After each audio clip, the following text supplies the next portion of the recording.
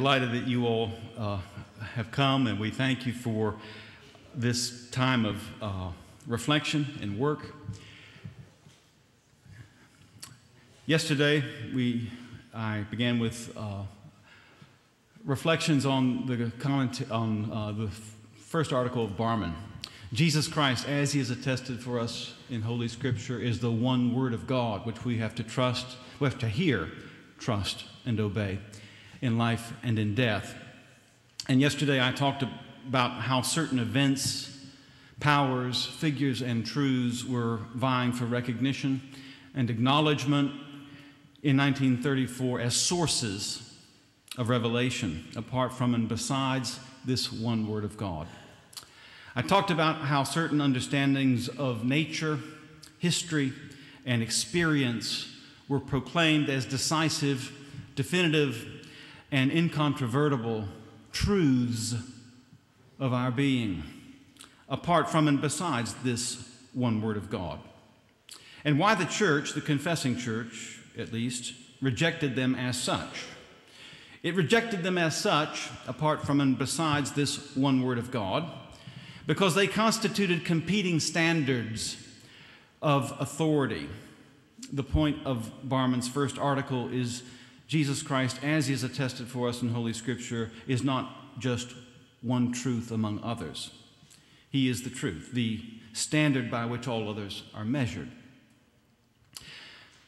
Of course, this raises many questions, not least of which is if Jesus Christ, as he is attested for us in Holy Scripture, is the one Word of God, the truth, what is the relationship between him and other truths? It's a big question, and uh, I can't begin to answer it adequately this morning with the academic precision that some of you may wish. Uh, and but yesterday I said I'd deal with it, and uh, I shouldn't have said that perhaps. Uh, but uh, let me begin by responding. Uh, first, to a concern I suspect some of you may have. So long as we define truth simply as that which corresponds to reality.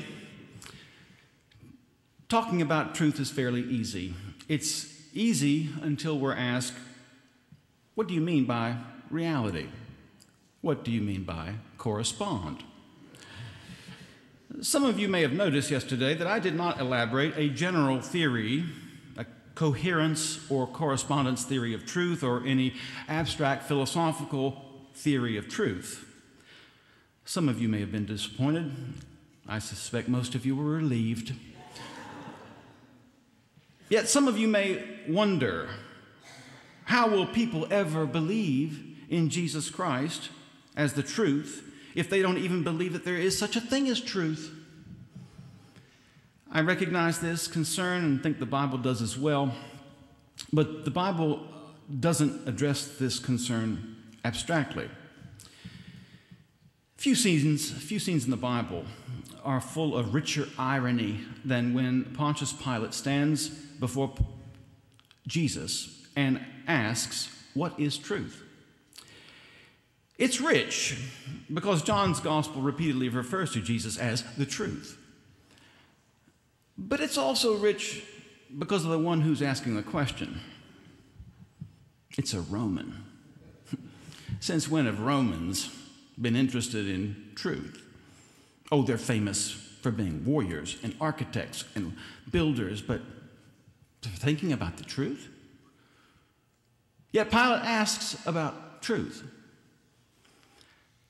And he can't recognize the truth even when it is standing in front of him, talking to him. When it comes to truth, the Bible knows our preference for abstraction. Uh, like the woman at the well, instead of answering Jesus' question, she preferred to discuss a general religious question. Oh, our fathers worshiped on this mountain, but you say that Jerusalem is the place where people ought to worship. I'm not so sure people have really changed so much in this regard. It's been said if given the choice between having the truth or the quest for the truth, modern people tend to prefer the quest. The reason it's said is because modern people are more skeptical, skeptical about having the truth. They don't think truth is so havable. But another reason is that claiming to know the truth places demands on us. Once you claim there's such a thing as truth, you're accountable to it. You've admitted there's a standard which uh, people ought to recognize. That's why talking about truth is so dangerous. I'm not so sure modern people are more skeptical about truth. Uh, many before Pilate asked, What is truth? And many ask about it today. I don't know what you tell them. Uh, I suspect some of you have discovered that adding adjectives like absolute or objective doesn't usually help much. I know some of you have encountered others, uh, some who are quite agnostic about truth. Uh, I know some of you have encountered others who are not. Uh, nihilists who claim we can't know the truth. And when you ask, is that true? Uh, or uh, relativists who say there are no absolutes, and you say, hmm, that sounds like a pretty absolute statement. Um, it's easy to point out the inconsistency uh, and futility of thinking of those who Paul says suppress the truth. But suppression is real uh, at the psychological level, let alone at the spiritual, even more so. It's real, it's deep and profound, such that Scripture teaches that people really do not know the truth. In fact, some don't even know their right hand from their left, according to Scripture. Nihilists and relativists certainly exist among us. But most in our culture today do not deny there is such a thing as truth. Even on most university campuses today, most do not deny that there is such a thing as truth. Contrary to what you may have heard, most affirm there is such a thing. There may be little consensus about what it is, but there's no shortage of those who claim to know the truth on most university campuses in America today, especially those who claim to know the truth about Western civilization, namely that it's bad, very bad. Indeed, in affirming this and many other claims, most do not deny divine transcendence. On the contrary, many see themselves as upholding transcendent values Few are thoroughgoing materialists. Many consider themselves spiritual. Most aren't against spirituality. Rather than being irrelig- irreligious, American universities today are perhaps more religious than ever before. They are certainly not godless. There are many gods. Yet, even among those who don't think Western civilization is all bad and who are more traditionally religious, Truth has little, if anything, to do with Jesus Christ. This, of course, isn't new, and I suspect many of you know it's not just the way of many in our universities, it's the way of many in our churches.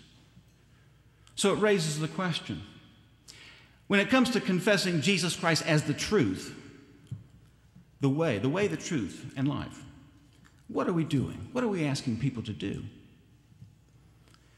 Let me be clear. Uh, uh, like Calvin, I, I can't get my head around this. I can't even, I can hardly, I can apprehend it, let alone comprehend what's at stake in all this and all the implications. I've got so much more to learn, but there's, let me share three things I'm learning. Uh, yesterday, I acknowledged that uh, maybe you have learned more about God standing on a seashore or watching a sunset or sitting in a deer stand than you have in church or reading the Bible. Uh, but the question is not where we learn more or less about God, but where we learn the one thing necessary the truth. You and I may learn all sorts of things about God by all sorts of means, but how would we know that they are true? And what difference would it make unless we know the truth about God, namely that He loves us and sent His Son to die for us in order that we might live eternally with Him. And to be sure, you and I did not learn that, and we would have never learned that simply by walking on a seashore or watching a sunset or sitting in a deer stand. As wonderful as those experiences are, and I don't want you to dis- discourage any of you from doing that, I hope you do that. I'm planning on doing that uh, and uh, later. But I, the point I tried to make yesterday is that confessing Jesus Christ as the truth, as the way, the truth, and the life, means he is not merely one truth among others. He is the truth by which all others are measured. Now, I want to go further and say that not only is he not one truth among others, but according to Scripture and our confessions, we do not come to know him as the truth like we come to know other truths. How we come to know him is different. Jesus said to Peter, Flesh and blood did not reveal this to you, but my Father who is in heaven. Paul said, The natural man does not receive the things of the Spirit of God, for they are folly to him. And he is not able to understand them because they are spiritually discerned. What does this mean? It means apart from Jesus Christ making himself known through his Holy Spirit, we don't know who God truly is. No teaching is more basic in Reformed theology than it takes God to reveal God. For God alone is a fit witness of himself, Calvin says. This is the way of faith seeking understanding.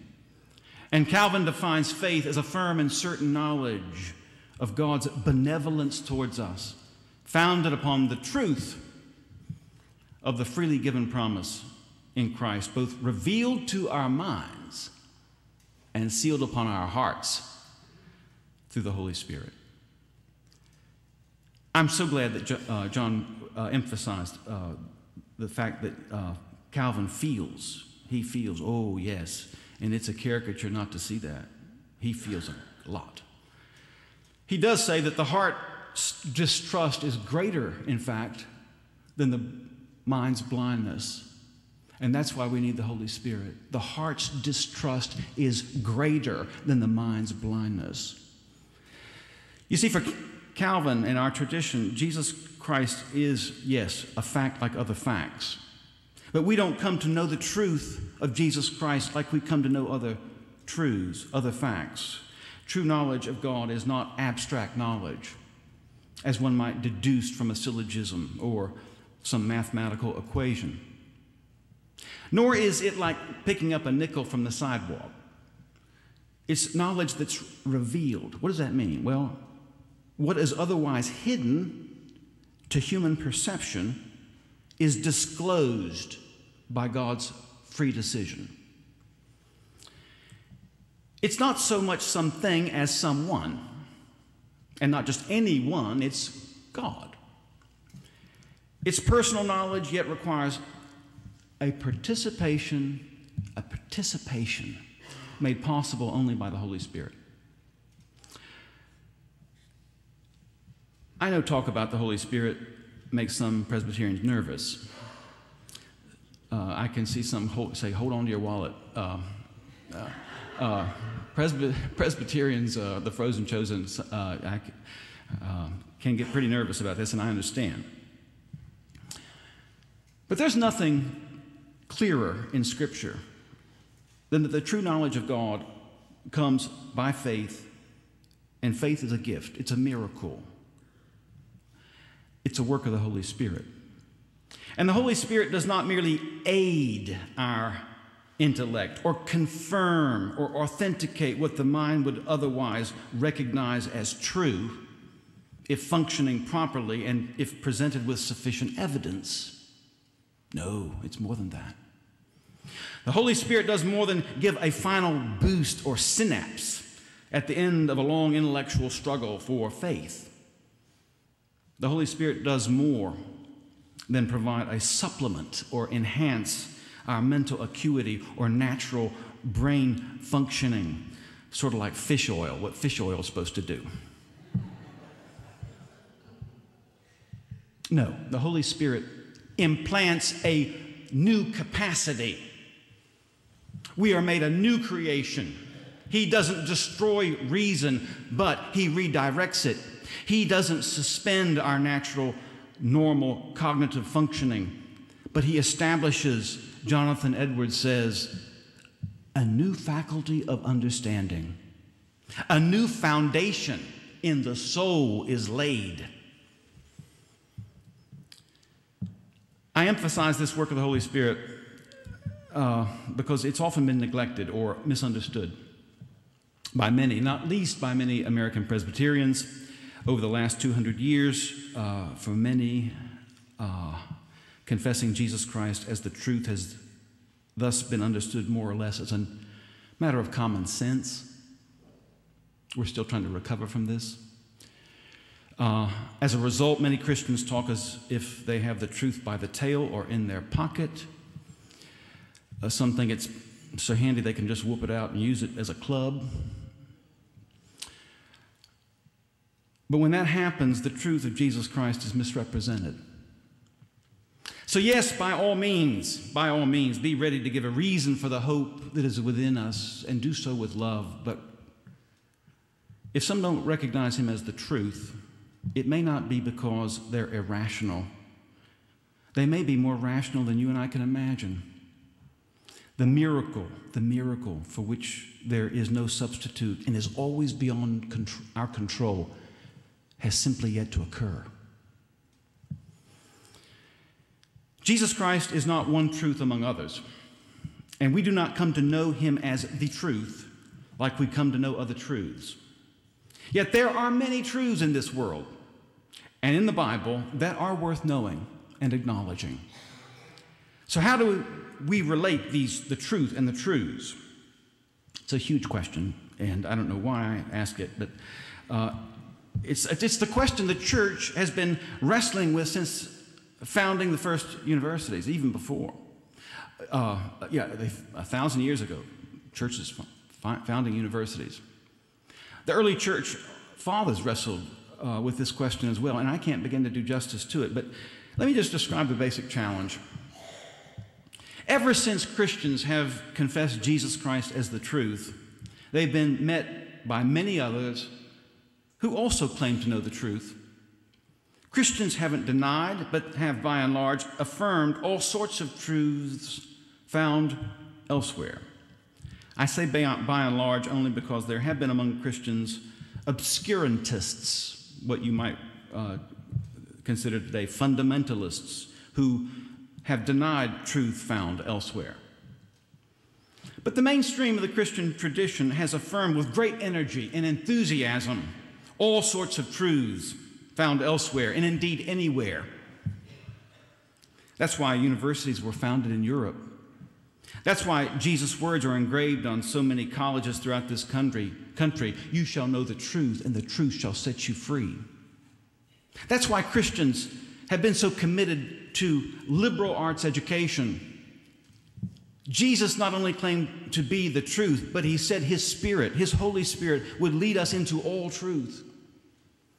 The truth of Jesus Christ, the church has recognized, is infinitely rich and multifaceted. He's the Alpha and Omega, after all. The one in whom, through whom, and for whom all things were created. Abraham Kuyper expresses this beautifully in a statement many of you know. There is not a square inch in the whole domain of our human existence over which Christ, who is sovereign over all, does not cry, Mine. Isn't that a beautiful statement? And I don't want to quibble with it, but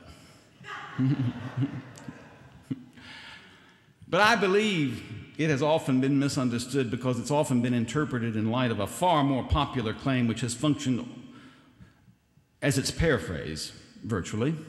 Namely, all truth is God's truth. How many of you have heard that statement made? Okay.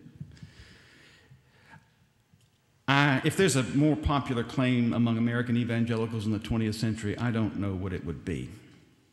It's often used by evangelicals to disabuse the charge that they are the narrow minded fundamentalist obscurantists that critics claim. But I, but, and uh, you have heard that, and, uh, and uh, nevertheless may legitimately ask, well, isn't that so? Isn't it true that all truth is God's truth? What's your problem with this statement? Well, I'm not the first to point this out. Look on the top of page 12 in your packet. In his book, Contending for the Faith, Ralph Wood writes this All truth is from God, remains among Protestants the favorite unguent to grease a multitude of academic sins. Unguent, an oily substance. It's, uh, it's been the favorite unguent to grease a multitude of academic sins. This single bromide has poisoned our ability to ask whether there are greater and lesser truths, whether there is a single incarnate truth ordering all other truths and thus whether there are counterfeits to be identified and opposed. Do you see what's at stake here? Yes, all truth is God's truth, but Jesus Christ is not just one truth among others. Yes, the truth, Jesus Christ, is infinitely manifold, manif- uh, multifaceted, and is reflected throughout the entire created order, every square inch of it. But Jesus Christ is not just one any kind of truth. And where we come to know him and is, is not arbitrary. Yes, he will lead us by his Holy Spirit into all truth and truths. And we should not hesitate to follow him wherever he leads. But there are many kinds of truths in this world. And knowing all sorts of them may not necessarily lead us back to Jesus Christ. Knowing them may raise all sorts of important questions, and even questions about Him. But there's no guarantee they will necessarily lead us all back to Him, to the truth. Not here and now. The Bible gives us no such promise. Here and now, as Wood says, there is an order of truth. This is what it means to confess Jesus Christ as the truth. It means there is a single incarnate truth ordering all other truths. It means we're to take every thought captive, as Paul says, to this truth. Every thought captive. And when we don't, we risk not only our own confusion, but we risk distorting, even domesticating Jesus Christ, who is the way and the truth and the life of God in this world. When Christians have confessed Jesus Christ to be the truth, we've insisted he is a special, unique truth, divine truth, truth of a completely different class, species, and order. Thus, it should come as no surprise that confessing Jesus Christ to be the truth is considered provocative today. It's always been provocative and always will be. And if it's not, then people don't understand, or perhaps we don't really understand what we're talking about. Let me give you another reason why it is and always has been considered provocative. When the church has confessed Jesus Christ as the truth and been faithful to Scripture. It has done so always in continuity with Israel, in complete and unequivocal agreement with the Shema. Hear, O Israel, the Lord our God is one. Certainly, this has profound implications for who we are as a people but also profound implications for who God is. To say the Lord is one and Jesus Christ is Lord forced the church to reckon from the get go with what we call the Trinity.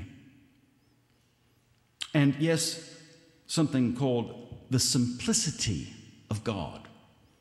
Namely, there is an integrity, a wholeness, a oneness of God, and the truth, Jesus Christ, who is who God is, is one. What does it mean to say the Lord is one? It means divine truth cannot be divided up, parceled out, tacked on, or distributed. It cannot be used. It is whole, complete in itself, self revealing, self determining, self authenticating, or it's something else altogether. I wish we had time to discuss this, but it's what the church's greatest theologians have known. And if you want to know more, uh, if you know the sources of this statement, it's in your packet.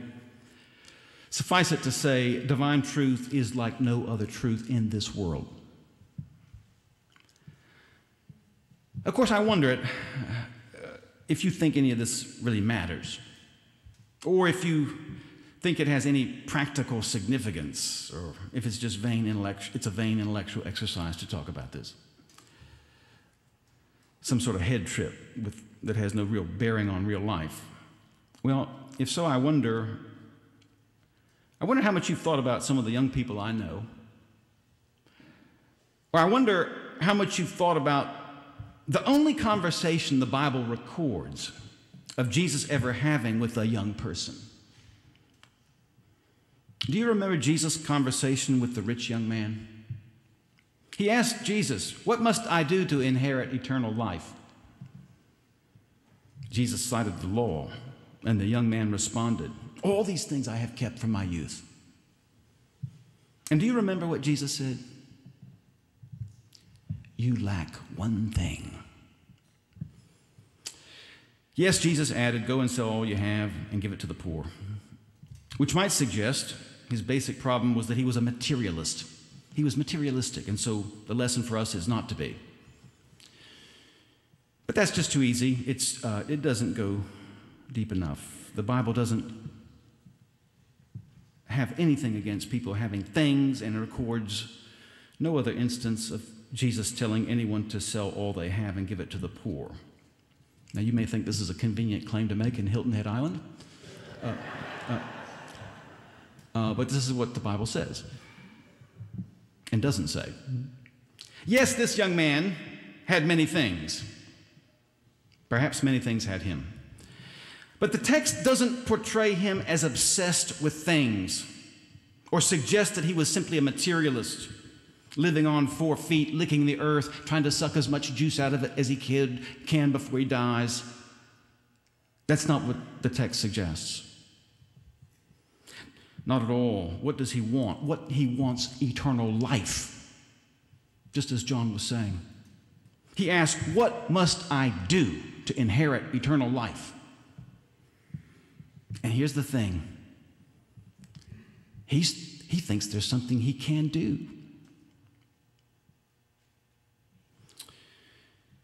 To me, the most disturbing feature of this passage is how moral and virtuous this young man was.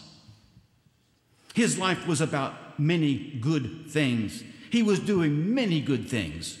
He was keeping the law, the Ten Commandments, which, if, you if you're determined not simply to break them, but to actually fulfill them, will keep you very busy. It takes a lot of time and energy and discipline to fulfill the law. And this is what this young man claims to have done. And the text gives us no reason to doubt his sincerity. Yes, Jesus said to him, Nevertheless, you lack one thing. What was it? Before answering, shouldn't we just pause and consider that it was one thing, not many things, a set of things, a laundry list of things, or even what some may call first things? Some of you got it.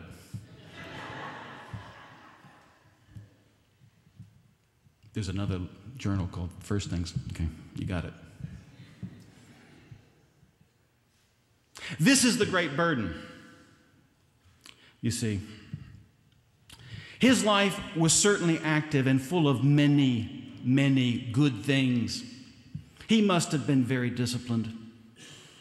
But fulfilling so many righteous demands and obligations, how could he not have felt divided, fragmented by the force of being pulled in so many directions?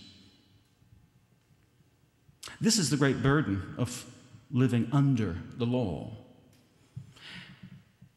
And we may say, oh, I'm glad we don't live under the law. But isn't that how many of you feel here today? You feel you're being pulled in so many directions by so many demands and obligations. Is this not a problem for you? It is for me. It's not so much waking up in the morning having to choose between so many bad things it's choosing between so many good and righteous things.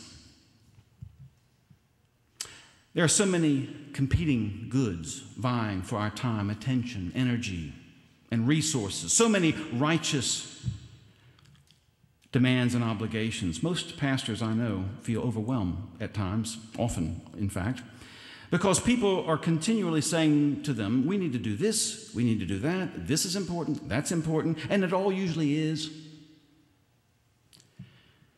But how does one decide between doing so many good and important things? And pastors, of course, are by no means the only ones forced to decide between so many competing goods.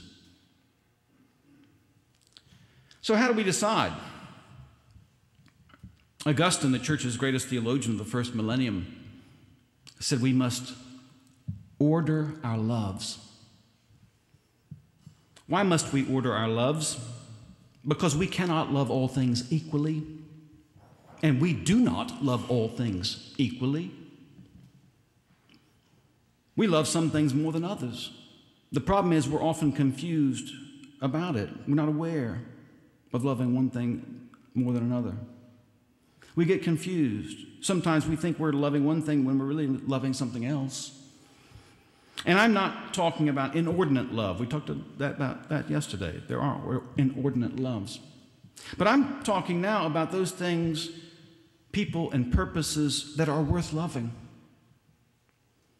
And let's not kid ourselves by saying, oh, I love, I just love everybody. No, you don't. or at least that's probably going to be news to many people you claim to love. I'm included. Ordering our loves is easier said than done. Most of us say we love or want to love what is good, yet there are so many good things to love. And it is impossible to love all things equally. So we must choose among a multiplicity of goods, which means we must decide not simply what is good, but what is the highest good. And do you remember, do you remember the first thing Jesus said to this rich young man after he addressed him as good teacher. Why do you call me good? Jesus was inviting this young man from the get go to think more deeply about the good. He invited him to know and to love not simply the highest good, but the source of all good, God Himself. This young man was about many good and righteous things. But Jesus said to him, You lack one thing. And it wasn't simply one more thing on a to do list, nor was it a sense of meaning or purpose or getting some large organizing principle for life. No. It was the one thing necessary, it was the truth, apart from which we'll never be able rightly to order our lives or our loves. He lacked the way, the truth, and the life of God living in him. He lacked the life giving, life transforming spirit of the living God who comes to us through Jesus Christ and Jesus Christ alone. He is our life, our salvation, our wisdom, our righteousness, our strength, our peace, our joy, our hope, It's all in Him. And notice, Jesus didn't ask this young man simply to acknowledge this as a fact. Jesus called him to follow him the way. He didn't ask merely for his intellectual assent, but for his life. To, you see, true knowledge of God is active knowledge, it's never merely passive. That's why Calvin says all true knowledge of God is born of obedience. In other words, if we truly know God, we will follow him. But not in order to earn our salvation or make ourselves worthy. No, our salvation is in him alone. He is the one in whom the law has already been fulfilled and who has done everything for us and for our salvation. Thus, for us, it is no longer a matter of striving to earn our salvation by fulfilling the law or making ourselves righteous. It's a matter of joyful obedience to Him in whom our salvation has been fulfilled and is complete. Christ alone is our salvation, by grace alone, through faith alone, as told to us through Scripture alone. You know, this is what the Protestant Reformation was about. It was about this one thing. It was about acknowledging this one truth. Each of the solas, I hope you understand this, each of the solas, Christ alone, through grace alone, Scripture alone, through faith, uh, uh, other solas, they were never, all of them, never meant to be understood separately, disparately, but always together, mutually reinforcing, clarifying, and underscoring this one truth Jesus Christ. And confessing this one truth has always been a challenge. It's always been subject to misunderstanding, always, from the very early on. It's been subject from very early on, both within and without the church. In November of 1962, on the eve of the Second Vatican Council, a reporter from Paris traveled to Basel, Switzerland, to interview Karl Barth, whom Pope Pius XII had called the greatest theologian since Thomas Aquinas. The reporter asked Barth, and this is in your packet, page 12. The reporter asked Barth this question In your opinion, what is the greatest obstacle to rapprochement or dialogue between the evangelical church or the Protestant church and the Catholic church? Barth answered, It is one tiny word that the Roman church adds on, on after each of our propositions. It's the word and. When we say Jesus, the Catholics say Jesus and Mary. We seek to obey only our Lord the Christ. Catholics obey Christ and his vicar on earth, the Pope. We believe that Christians, the Christian is saved by the merits of Jesus Christ. The Catholics add, and by one's own merits. We think that the only source of revelation is Scripture. The Catholics add, and tradition. We say that the knowledge of God is obtained by faith in His Word as it expresses itself in Scripture. The Catholics add, and by reason. In fact, here Barth said one hits upon the fundamental problem of the relation between grace and freedom in the salvation of humans. Please understand the Protestant Reformation was not the discovery, but the rediscovery that we are saved by grace alone by, by Jesus Christ alone, by grace alone, through faith alone, as told to us through Scripture alone. It was the rediscovery that Jesus Christ is not one truth among others. And we do not come to know him as the truth, like we come to know other truths. And though there are many truths in the Bible and in this world worth acknowledging and uh, recognizing, acknowledging, there is an order of truth. And the rediscovery of this order of truth, this singular focus and commitment to Jesus Christ alone, by grace alone, through faith alone, through Scripture alone, changed the world. Please don't misunderstand me.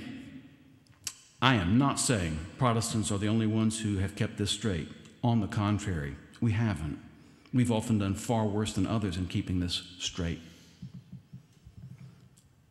And to be sure, there's a lot we can learn from Roman Catholics and from Eastern Orthodox uh, believers and others. But, friends, we do have a wonderful heritage that was spoken of yesterday a powerful intellectual tradition, a remarkably rich number of theological resources that can be of enormous help in helping us keep this focus, this one truth. Jesus Christ, as he's attested for us in Holy Scripture. And I wonder what would happen if we were to rediscover these resources.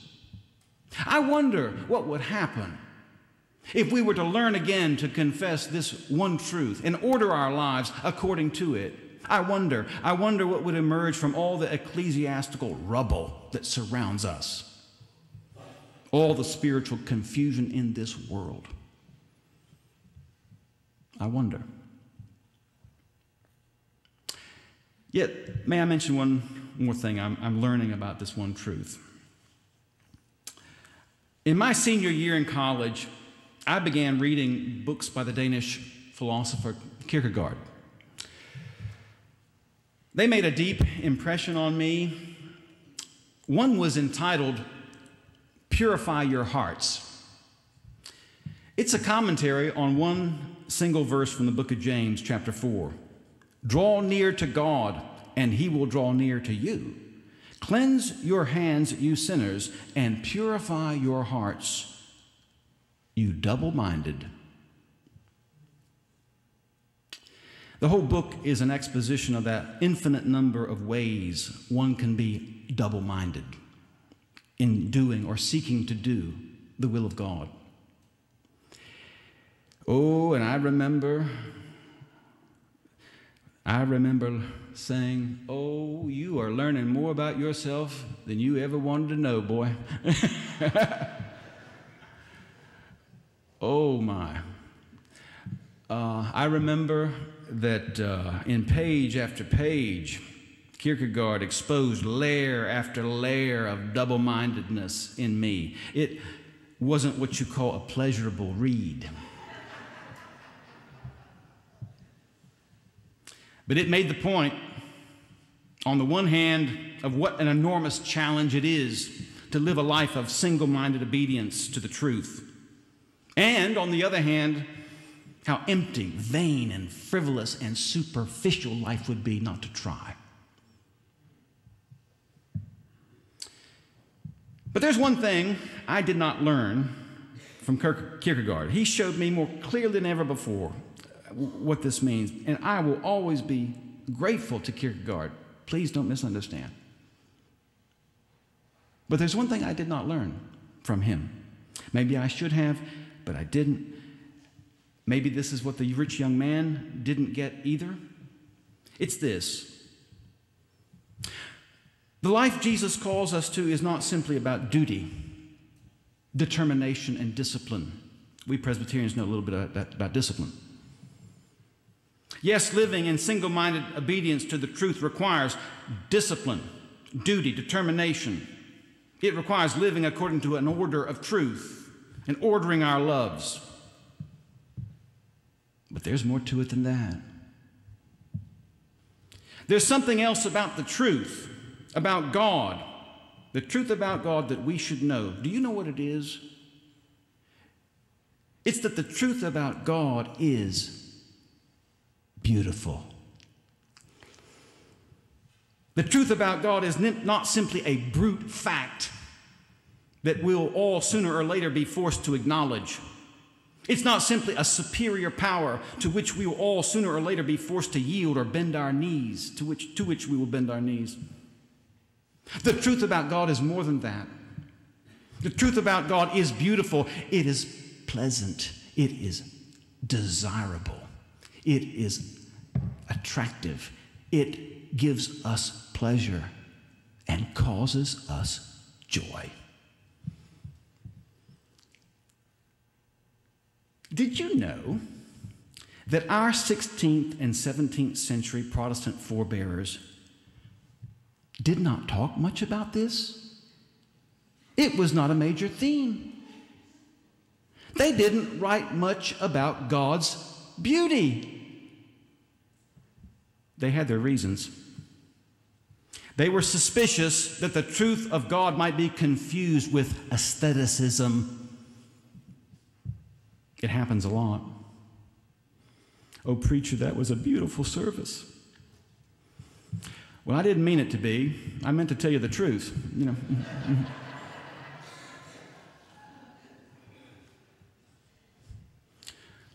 Our forebears were right to be cautious. Truth and beauty are not the same and are often confused. And surely the truth about God may not be beautiful like beauty defined elsewhere, but that does not mean the truth about God is not beautiful. The truth is, God is beautiful. And that's biblical. Do you remember our call to worship? We, Jeff mentioned it this morning. One thing I have asked, one thing I have asked of the Lord that I will seek after, that I may dwell in the house of the Lord all the days of my life to gaze upon the beauty of the Lord and inquire in his temple. How beautiful is the Lord? Jesus put it like this the, the beauty of the Lord is like this it's, it's, it's like a treasure hidden in a field which a man found and covered up, then in his joy goes and sells all that he has and buys a field, that field. He's like a, it's like a merchant in search of fine, pure pearls, who, on finding one pearl of great value, value, one pearl, went and sold all that he had and bought it. This is what the rich young man did not know, or perhaps could not even imagine, and who among us here does not need to understand this better? And let me add this one point that Mark's account of this uh, text mentions. Jesus doesn't simply, in Mark's gospel, ask this rich young man, or doesn't say, You lack one thing. Mark adds this one detail. Jesus, looked, looking at him, loved him.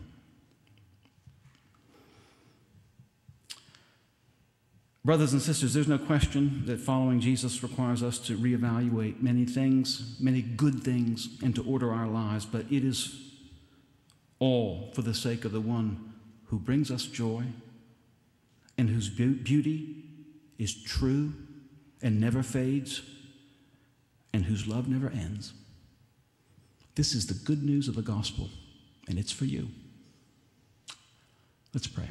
Heavenly Father, will you open our hearts and our minds to the infinite and inexhaustible beauty of your truth and help us to cause you joy. For we pray this in the name of Jesus Christ our Lord. Amen.